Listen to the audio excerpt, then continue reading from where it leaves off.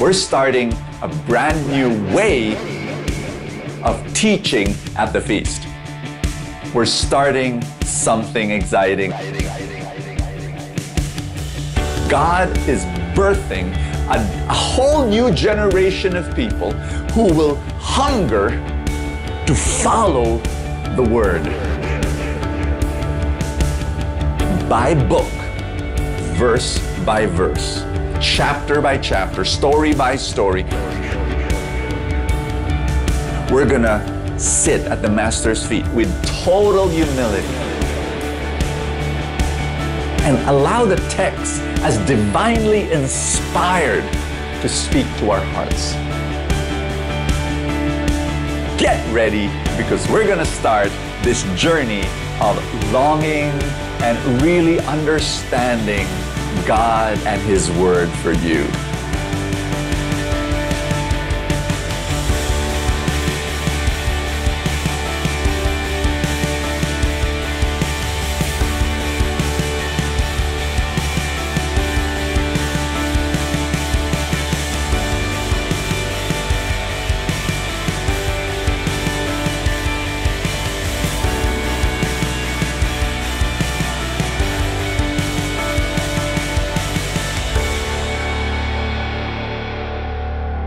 Everybody. Welcome to another powerful Feast at Home session. We are so delighted and so glad that you're here to join us. I hope that you are ready for your tanks to be filled up because we don't ever want to take for granted, you know, the time we spend with you because we understand that for some of you, this might be the only time that you get to hear God's word all week long. And so we're always praying that the message would be good enough to give you a good start for the week. Let's begin with talk Talk 3 of miracles and more. As you all know, we are studying the book of Matthew, and you know what? It is slowly changing our life. Amen. And if you're ready, I'm sure am ready. Let's all say our favorite family prayer at the feast as we all come in the name of the Father and of the Son and of the Holy Spirit. Amen. Everybody join me in saying this as you lift your hands in the air. Today, I receive all of God's love for me. Today I open myself to the unbounded, limitless, overflowing abundance of God's universe. Today I open myself to God's blessings, healing, and miracles. Today I open myself to God's word so that I become more like Jesus every day. Today I proclaim that I'm God's beloved, I am God's servant, and I am God's powerful champion. And because I am blessed, I am blessing the world in Jesus' name, Amen.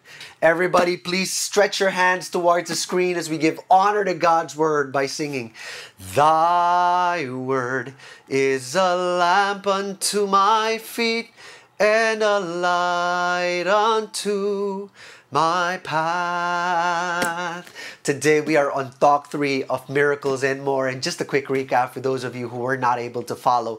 Talk one was make me clean. That's right. And then talk two, make me believe. And today, here's our talk title, Make Me Follow make me follow. Go ahead and write that one down. But anyway, let me ask you this very important question, okay? Have you heard God's calling in your life? Do you hear God calling you? I actually believe that not everybody can relate to this question. Why? Simply because there are people who think that only certain people can hear God's call. And we refer to those people as religious professionals, like the priests and the nuns and the pastors. But people think that this question is not applicable to everyone. Like, for example, BPO workers, no, not applicable to you. Or insurance brokers, not applicable. Or dentists, or IT experts, or janitors, or, or accountants, or carpenters, or athletes. We think that it's not applicable to everyone. But let me break this fallacy for you, okay? No matter who you are or what you do in life, God is calling you. That's right. So let me ask you again have you heard God's calling in your life? Or maybe your line is always busy. Or worse, you just don't want to pick up the call.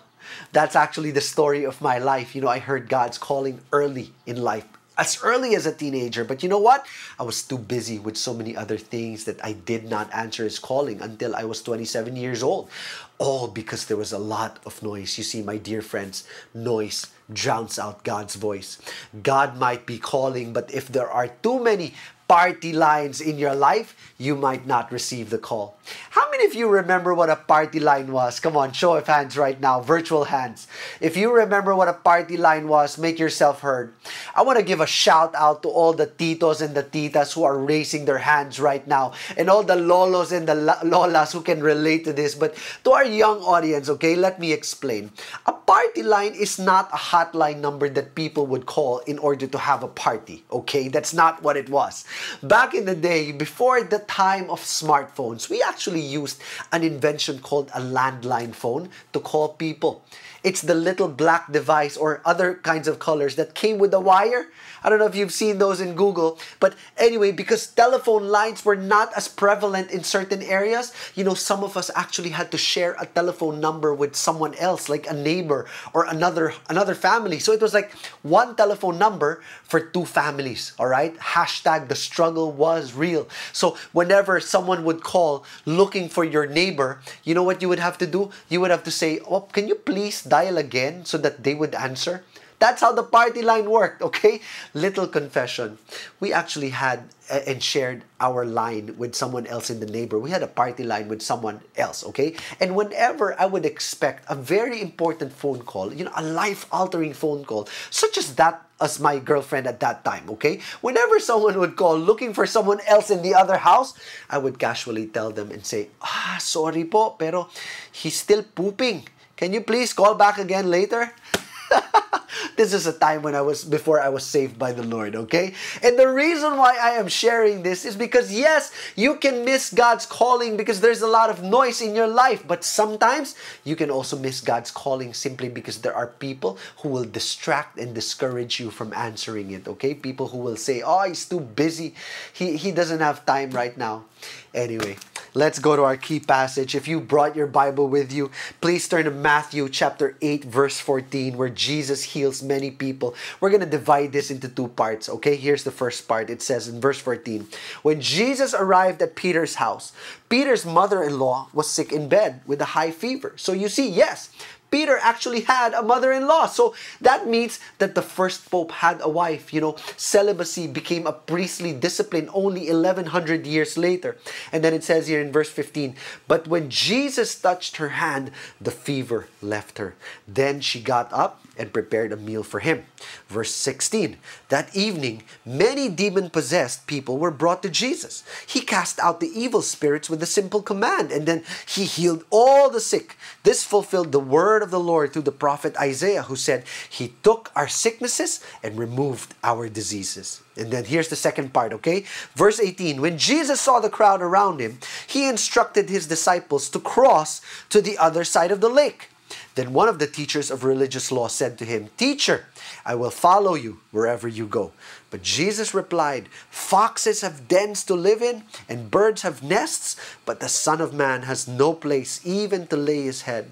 And then another of his disciples said, Lord, first let me return home and bury my father. But Jesus told him, Follow me now. Let the spiritually dead bury their own dead. This is our verse for today. I believe that God is going to use this to speak to us in the few moments to come. Let's pray, everybody. You can close your eyes, bow down your head, and let me just pray. Father in heaven, we thank you for your beautiful word. We thank you for this message that resonates life. We believe it's alive and it's active. And until we, we let it come in and seep into our bones and into our spirits, Lord, it will have little effect on our life. So we ask you, Lord, let the Holy Spirit speak to us in, in, in a matter of letting us understand your words, Lord. Take it down to the level of our understanding. And we are just so excited because we know that this will change the way we think and the way we feel this week. Thank you so much. We give you the glory. In Jesus' name, Amen. One more time, everybody. Help me give glory to the Lord by singing again. Thy word is a lamp unto my feet and a light unto my path. God bless you. I pray that the message that we're going to deliver to you today will bless you. Hi, everybody. God bless you. I am so happy that you have joined us today at the feast, and I'm praying for a miracle for you. You know, that's the series that we're in Miracles and More, chapter 8 and 9 of the book of, of the Gospel of Matthew, and I'm praying that more miracles will happen in your life. But what kind of miracles? That's what we're talking about. Today, we're talking about the greatest miracle that can ever happen, and that is you responding to God's love. And you, and this is this is my message. My message is to go all in. That's it. Go all in. If there's somebody beside you right now, tell that person, tap that person on the shoulder, go all in. You know, but you cannot go all in if your trust is not strong enough, deep enough, total enough which is something that we're praying for. I'm praying for you that you're able to do it. Let me tell you an old story. 200 years ago, there was this tightrope artist that wanted to do something never done before. On Niagara Falls, he stretched a cable, a long steel cable, 1,100 feet from one side to the other, and he was going to cross it on top of the raging waters. And that's what he did. I want you to know that from the street, a crowd of onlookers were watching this incredible feat. And then from the loudspeakers, the MC said, How many of you believe that this daredevil can actually do it, cross Niagara Falls? And, and the, the crowd, you know, cheered and shouted, all of them raising their arms, saying, Yes, yes, you know, you can do it, you can do it. Wow, it was so wonderful. And then the MC said, Okay, because you believe that he can do it, we need one volunteer. He is asking for one volunteer who would ride on his shoulders as he walks the tightrope. And everybody's arms, you know, went down and people began to laugh. Of course, nobody wanted to volunteer. You see, I, I, share you that story because it's very easy to say, I believe in God. I believe He's amazing. I believe He's wonderful. He created the universe and He's here and He's good and blah, blah, blah. But wait a minute, Christianity is not about just believing. Christianity is about living and loving and serving and going all in. That's the point, which brings us to our reading today. Are you ready? You know, just to give a little background before we actually read the story again, that where, where's where's this happening? It's happening happening in Capernaum. It's happening in the house of Peter. Now, I want you to know that in the three year public ministry of Jesus, this became like central headquarters for Jesus and his apostles. So they spent a lot of time here. And I can so super relate to central headquarters of a ministry because my parents' house at the early, early years of the Light of Jesus family was, you know, our our home was the this is the headquarters and Oh man, like every day, uh, you know, every night was filled from prayer meetings to music ministry practice to, uh, uh, you know, there was like a planning for this and there was a birthday party for one of our members and th- there were so many things happening and there was zero privacy. It was very noisy. It was always messy, but that was not my mom's biggest problem. Perhaps you're thinking now, what what, what, what, what? The biggest problem of my mom was how to feed hungry people week after week after week. People would go in and go out, and and man, now let's go to Peter's house. I bet the same thing happened. The two women of that house. Peter's wife and Peter's mother in law. I bet that was their problem too. How to feed at minimum 13 hungry men, you know, Jesus and his apostles every day. And then you've got all these other people who wanted to listen to him. Wow!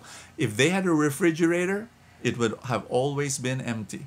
Now, this is where the story begins. I hope you're getting a picture now, a better picture of what happened. Verse 14 When Jesus arrived at Peter's house, Peter's mother in law was sick in bed with a high fever.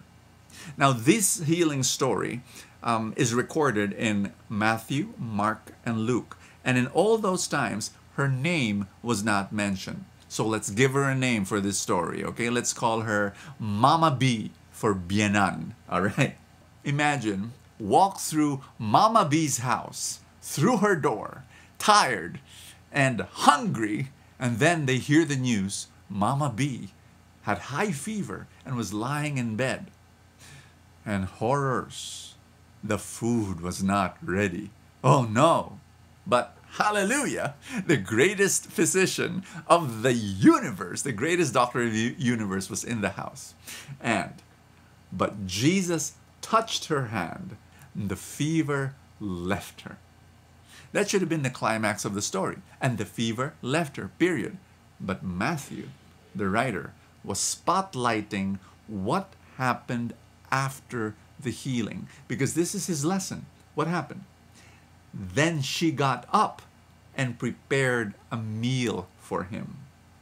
In other versions, it says, she rose and she began to serve him. Friend, this is the end result of every healing story, of every answered prayer, of every miracle received. Uh, let me let me say this. I, I need to preach this to you.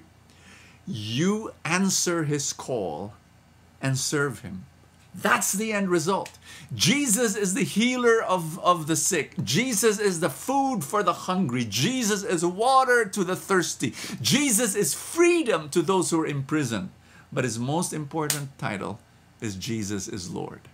And a lot of people, they relate to Jesus as the one who answers their prayer. Jesus is the one who heals. And Jesus is the one who, who is a miracle worker.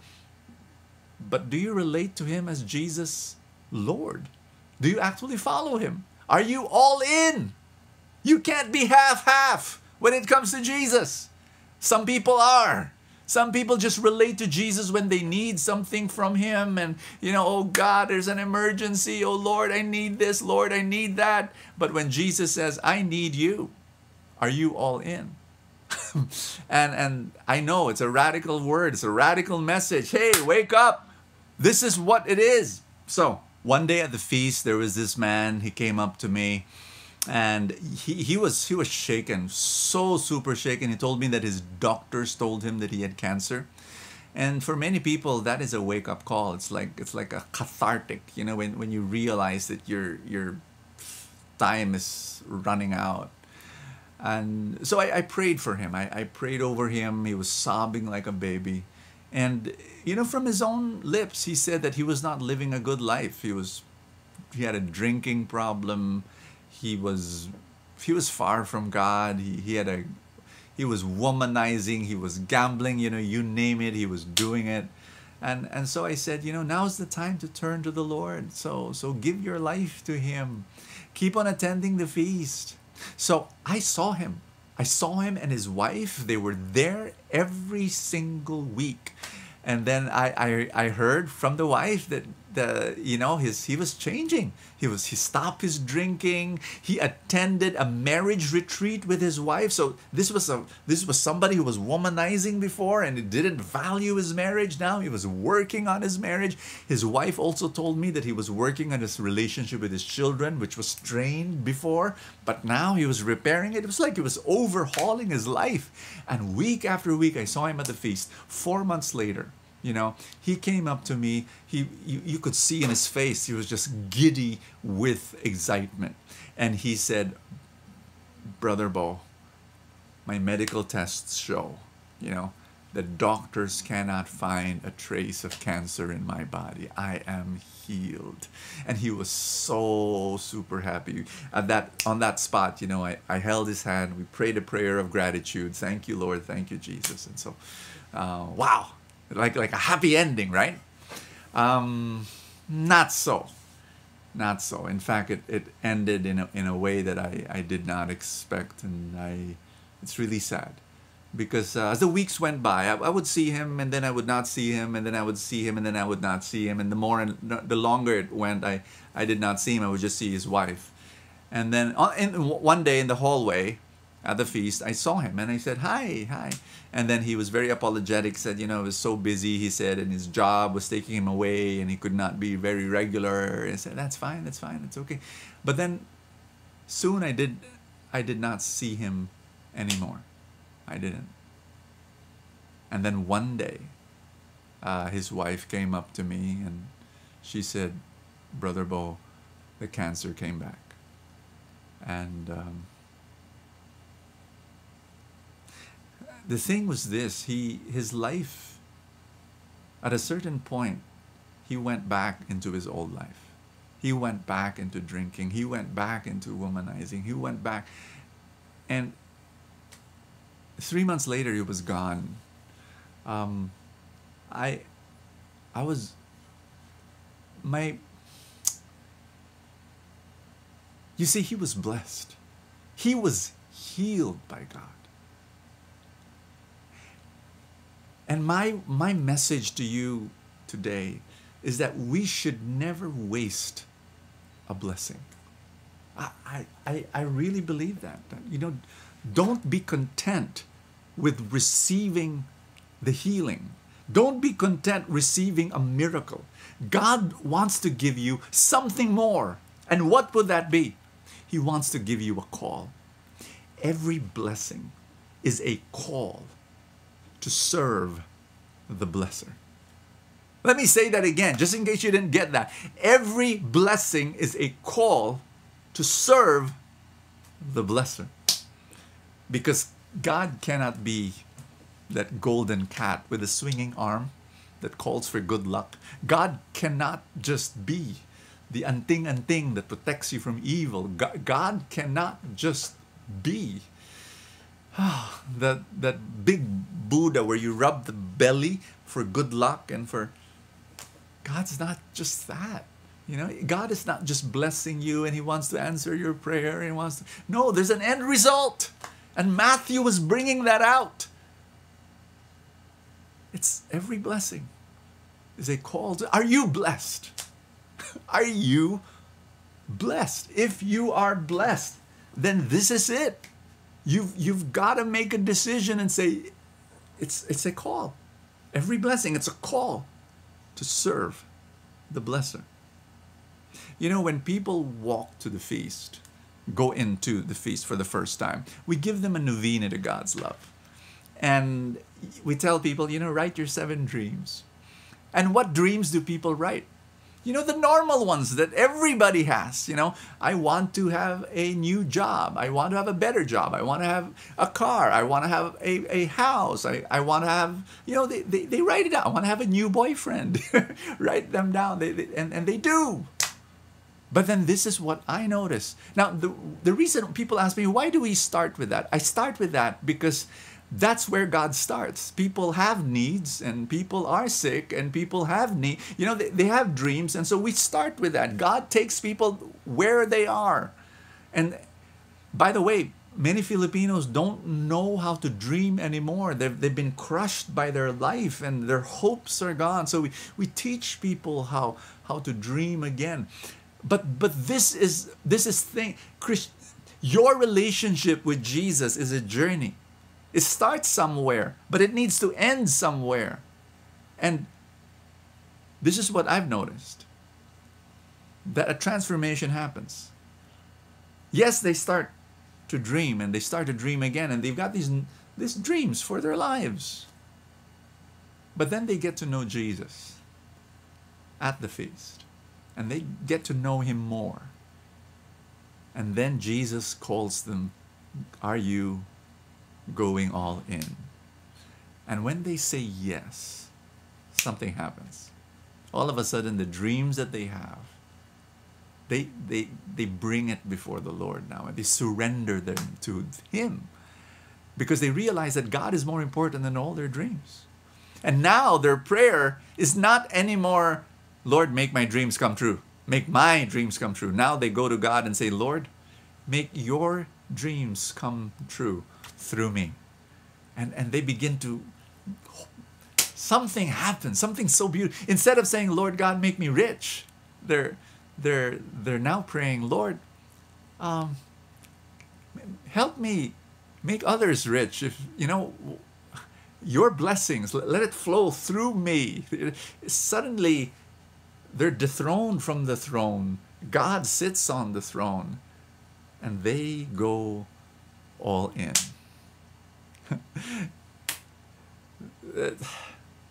I pray that God is speaking to you. The story is not yet over. Keep listening. Thank you so much, Brother Bo. I hope that all of our viewers are really learning a lot today. But let's continue the story, okay? It's just so good. After Jesus heals Mama B, it says that he conducted an evening rally, okay? It says here in Matthew chapter 8, verse 16, that evening, many demon possessed people were brought to Jesus, and he cast out the evil spirits with a simple command, and he healed all the sick.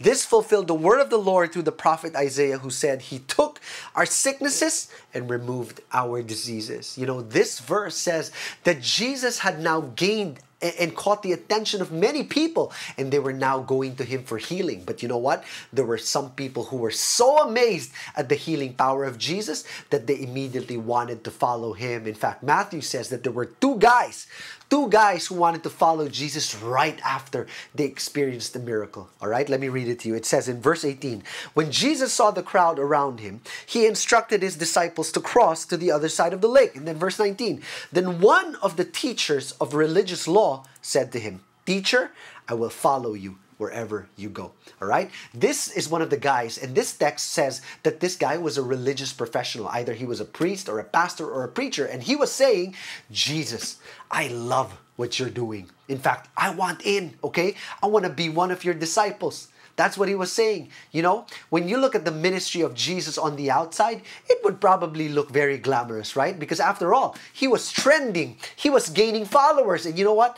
The people who are not rooted in the right foundation, trending and gaining followers can be a very attractive thing. But you see, to Jesus, this was not a popularity contest, okay? That's why he said in verse 18, when Jesus saw the crowd around him, he instructed his disciples to cross to the other side of the lake. You know, this verse implies that Jesus actually wanted to avoid the multitude of people because this is very important for us to understand because although Jesus came into this world to heal us, it wasn't just about healing us, okay?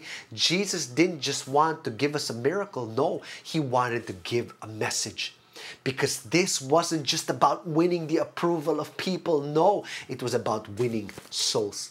Okay, that's what was more important. So this religious uh, teacher probably wanted to have that same appeal as Jesus did, you know, to draw a crowd like Jesus. That's why I'm glad that Jesus corrected this belief by telling us the real score of what it means to follow him. So for everyone who wants to follow Jesus, okay, here's what it means. It says, let's read verse 20. But Jesus replied, Foxes have dens to live in, and birds have nests, but the Son of Man has no place to even lay his head. Notice that when the religious teacher asked Jesus if he could follow him, Jesus didn't say, Okay, great. You know, welcome aboard. You won't regret it. In fact, here are my disciples' benefits, okay? Number one, you won't ever get hungry. Why? Because I can multiply bread.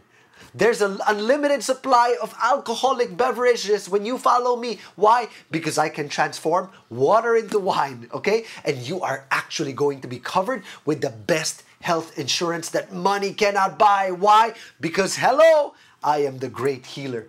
That's not what Jesus did. You know, instead of talking about the benefits, Jesus talked about the burdens. Uh huh. I love how honest Jesus was because he wasn't like us, you know, who would give a very colorful sales pitch in the hopes that people would buy our products and our services and apply to be in our downline. No, instead, Jesus was real. He wanted people to know the real challenges of following him from the very start by saying that the Son of Man ha, uh, has no place even to lay his head. You know, Jesus was saying, if you're willing to follow me, you're going to have to leave your place, okay? Your place of comfort, your place of security, your place of significance, because to Jesus, this world was not his true home. Heaven was his true home. You know, this world, he was just passing through. And let me just tell this to you, okay? The same thing goes with you and me. We are all just passing through in this world because God is our one true home. God is our only home. So, to everyone who is homesick right now because you are stationed in a different place, you might have migrated to a different country away from your loved ones, okay? May you find comfort in knowing that if God is with you, you are home. This is the first guy, okay? In this story, Jesus is asking you this question today. If you are willing to follow me, here's the question Can you let go of attachments to worldly and material things? Okay? Can you give up the treasures of this world and make Jesus your only treasure? That's the question that Jesus is asking us today, okay? This is the first guy only, all right? Let me read to you about the second guy who wanted to follow Jesus. It says here in verse 21 Another of his disciples said, Lord, first let me return home and bury my father. But Jesus told him in verse 22 Follow me now, let the spiritually dead bury their own dead. Okay? Let me clarify this for a moment. All right? This guy actually did not ask for permission to, to dig a grave for his deceased father. In fact, his father was very much alive. You know, all he wanted was to remain in his father's house and to take care of him until his father died. In other words, he wanted to follow Jesus, but not just yet. Okay, let me ask you this question. How many of you, just by a show of hands, how many of you want to go to heaven? You want to go to heaven? Come on, show of hands. Who wants to go to heaven? Show of hands. But here is a follow up question, okay? How many of you want to go to heaven now? anyway, Jesus says, He says here, this is so beautiful. Jesus says in verse 22, Jesus told him, Follow me now.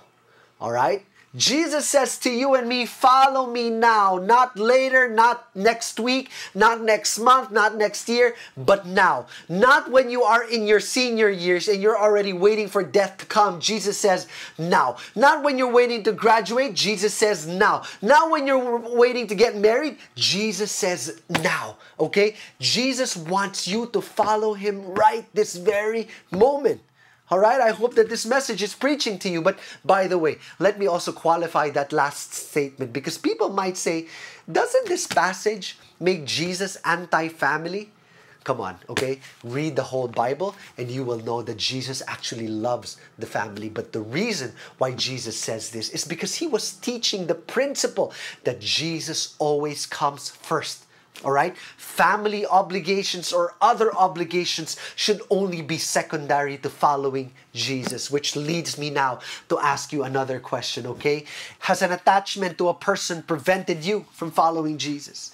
Is there a person in your life today, whether it's a loved one, a family member, or a really close friend, that because you are so attached to that person in that relationship, that person might be leading you away from your God? You're no longer obeying, you're no longer following, you're no longer loving Jesus the way that He wants you to. If there is a person like that in your life, let me just preach this to you, okay? I know know of a family who actually stopped going to their regular weekly Sunday gatherings at the grandparents' house, all because it coincided and it came into conflict with their weekly schedule in church all right with their sunday service. So they would only they would still visit on sundays but only during special occasions. But then they would still visit on saturdays. They merely changed the schedule from sunday to saturday. But you see after a while the siblings started questioning their priorities as a family and they said isn't family important to you and then the father of the family answered by saying, Yes, family is important, but you see, our faith is more important. Don't let people pull you away from God no matter how special that person is. Don't compromise your faith just for the sake of the familiar, just for the sake of what's comfortable, because following Jesus is not easy. But he said he should always be the priority. You see, my dear friends, Jesus never sugarcoated this at all. He, he, he said that following him is a very serious business. It's like a, a marriage vow. And I remember my own marriage standing in that altar with my wife, Christelle, almost seven years ago. I've said this time and time again that the moment I said I do to her, it also meant I, that I was saying I don't to every other woman out there. You see, this is what it means to follow God, to put God first. That when you follow Jesus, you are saying, I do to God, and you are saying, I don't to all the other attachments, both to things and to people, because in your heart, God is the most important thing. God should be your only real attachment. Can I get an amen from somebody? Amen. Anyway, I'm about to close right now. Let's go back to that tightrope story that Brother Bo shared earlier, okay? Remember how no one wanted to volunteer when somebody said, Who wants to go on top of my shoulders? But nobody did. Actually, there was someone who did. And to everybody's shock, it was a, an eight year old girl who raised her hand. And so they brought her to the tightrope artist and then they lifted her up on the man's shoulders, and almost immediately, the high wire acrobat started walking on the steel cable, and then he finally crossed the Niagara Falls. Get this the entire time that the girl was on the shoulders of that man, she was smiling the whole time. And so after they arrived on the other side, the MC ran to interview her and then he asked, I have so many questions for you, little girl. One, why did you volunteer? Number two, why weren't you afraid? Number three, why were you smiling the whole time? And then this little girl, she smiled from ear to ear and then pointing to the tightrope artist, she said, Simple, because he's my dad. it's so easy to say, my dear friends, I believe in God, or God is good, or praise the Lord. But here's the thing when Jesus heals you, when Jesus saves you, the question is now will you walk on the tightrope with Jesus? Will you go all in? Will you serve Him to the best of your abilities? You see, Jesus said, It's not easy to follow me. But here's the thing never ever forget who you are following. You are not following a magician who simply pulls a rabbit out of a hat. No, Jesus is the real deal. Jesus has real power. He's got real miracles. He's got real grace. He's got real mercy. You are following a mountain moving, storm breaking, devil defeating, kingdom building, life changing God. So please go all in, my dear friends. Trust in Him. I pray that this message has blessed you in many ways. Let's pray, everybody, as before we come into worship God. Let's all come in the name of the Father, of the Son, of the Holy Spirit. Amen. Father, we thank you for this word. We cannot thank you enough for the ways that you have spoken today. And Father, we pray that our faith would just be deepened, that we would follow you to the ends of the earth, Lord. We believe that it's not easy. But with you, everything is possible. We want to have the faith just like that eight year old girl, Lord, who said yes, who said yes to walking along that tightrope with you, Jesus. And while we are still here on this planet, Lord, while we still have the strength, while we still have the wisdom, while we still have, Lord, the breath in our lungs, we will follow you until the end of our days. Thank you, Jesus. In your name we pray. Amen.